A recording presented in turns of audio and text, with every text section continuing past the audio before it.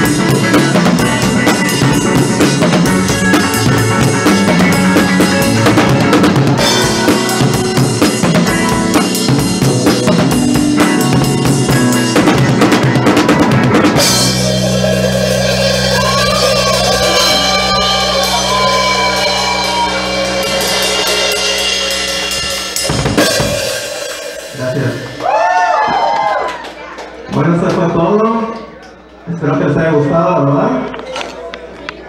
Y si quieren escuchar alguna de nuestras canciones, pueden visitar nuestra página de Facebook, que es Limo Oficial. Hay unas cuantas canciones, algunas grabaciones unas cuantas de las para checas.